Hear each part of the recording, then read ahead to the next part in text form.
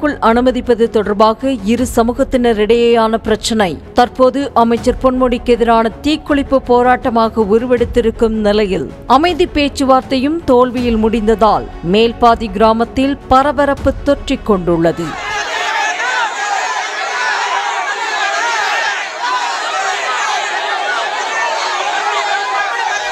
விழுப்புரம் மாவட்ட மேல்பாதி கிராமத்தில் அமைந்திருக்கிறது திரௌபதி அம்மன் கோவில். இந்த கோவிலில் கடந்த ஏப்ரல் மாதம் திருவிழா நடைபெற்றது. அப்போது கோவிலுக்குள் சென்ற பட்டியலின சமூகத்தினரை மற்றொரு சமூகத்தினர் தடுத்து நிறுத்தி அடித்து துரத்தியதாக கூறப்படுகிறது. இந்த விவகாரம் பட்டியலின மக்கள் மத்தியில் ஆத்திரத்தை ஏற்படுத்தவே கடந்த பதினேழாம் தேதி ஆட்சியர் அலுவலகத்தை முற்றுகையிட்டு போராட்டம் நடத்தியதால் அங்கு பரபரப்பான சூழல் நிலவியது.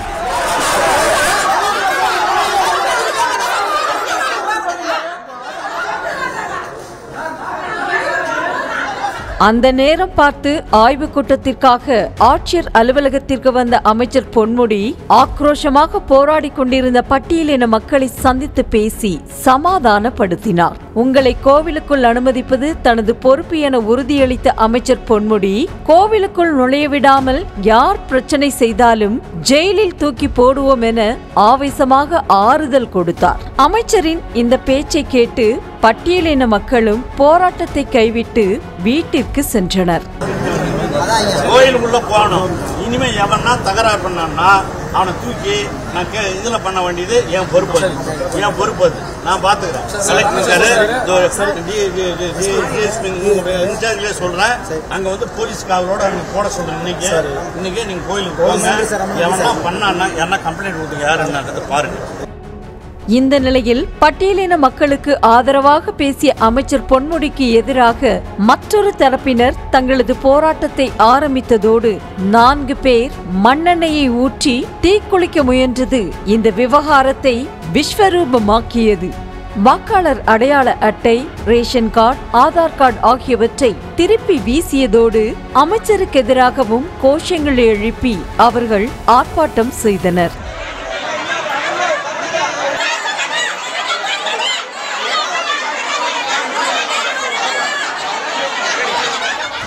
அப்போது போராட்டத்தில் ஈடுபட்ட பெண்களுக்கும் போலீசாருக்கும் இடையே கடுமையான தள்ளுமுள்ளு ஏற்பட்டதால் அந்த பகுதியில் பெரும் பதற்றமான சூழ்நிலை நிலவியது.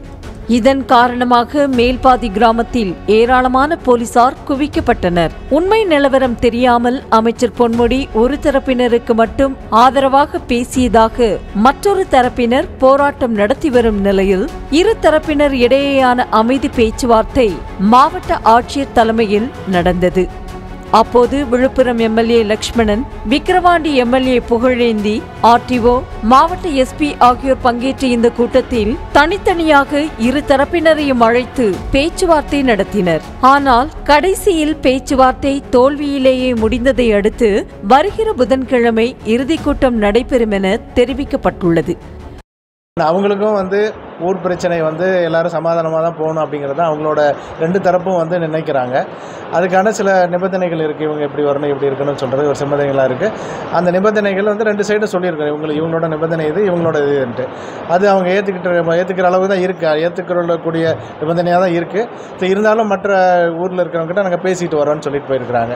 அதனால் கண்டிப்பாக இது ஒரு சுமூகமாக முடிச்சிருவாங்க கோயிலுக்கு கோயிலுக்கு போகிற மாதிரி ஏதாவது தகவல் இருக்கா இல்லை நான் திரும்ப அதான் புதன்கிழமை ஒரு தடவை இன்னொரு கட்ட பேச்சுவார்த்தை நாங்கள் இறுதி கட்ட பேச்சுவார்த்தை நடத்திட்டு நம்ம அப்புறம் அதுக்கடுத்த நடவடிக்கை நான் எடுத்துக்கிறோம் பிரச்சனைக்குரிய திரௌபதி அம்மன் கோவிலில் ஆரம்பத்தில் இருந்தே பட்டியலின மக்களும் வழிபாடு நடத்தி வந்த நிலையில் அது மற்றொரு பிரிவில் ஒரு சிலருக்கு மட்டும் பிடிக்காமல் இருந்துள்ளது. சமீபத்தில் நடந்து முடிந்த திருவிழாவின் போது கூட இரு சமூக மக்களும் சேர்ந்து ஒன்றாக நிதி திரட்டிதான் இந்த திருவிழாவை நடத்தியிருக்கின்றனர். திருவிழா அன்று பட்டியலின சமூகத்தை சேர்ந்த இளைஞர் ஒருவர் மற்றொரு சமூகத்தை சேர்ந்த பெண்கள் சிலரை கிண்டல் அடித்ததாக கூறப்படுகிறது.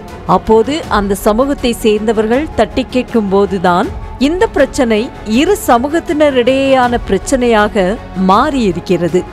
ஏற்கனவே பட்டியலின மக்கள் கோவிலுக்குள் வருவதை விரும்பாமல் இருந்த சிலர் இந்த விவகாரத்தை இன்னும் மோதி பெரிதாக்கவே அது கோவிலுக்குள் அனுமதிக்க மறுத்தது வரை சென்றிருக்கிறது. இந்த விஷயம் தெரியாமல் அமைச்சர் பொன்முடி ஒரு தரப்பினருக்கு ஆதரவாக பேசியதுதான் மற்றொரு தரப்பினரை ஆத்திரமடைய செய்திருக்கிறது. அத்தோடு போதாக்குறைக்கு பட்டியலின மக்களுக்கு ஆதரவாக போராட்டம் நடத்தும் பூவை ஜெகன்மூர்த்தியின் புரட்சி பாரத கட்சி மற்றொரு சமூகத்தினர் பின்னணியில் இருக்கும் பாமகவினரும் சாதி தீயை அணையவிடாமல் கனல் மூட்டி குளிர் காய்வதாகவும் சொல்கிறார்கள்.